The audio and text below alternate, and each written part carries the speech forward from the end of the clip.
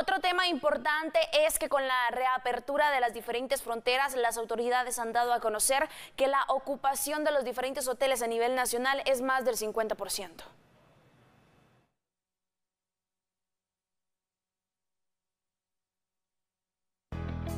Más de 1.900 turistas internacionales han ingresado a Guatemala del 18 de septiembre a la fecha, indicaron las autoridades del Instituto Guatemalteco de Turismo, quienes señalaron que la ocupación hotelera a nivel nacional es del 64%. De la ocupación hotelera está más o menos en un 64%.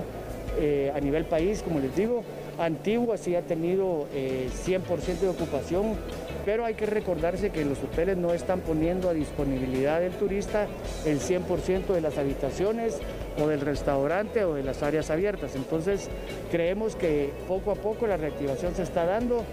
Ya en el mes de septiembre, después de que se aperturó el día 18 el aeropuerto, tenemos un total de 1.958 turistas internacionales que llegaron al país por motivos de visitar a familia o amigos, otros por eh, negocio.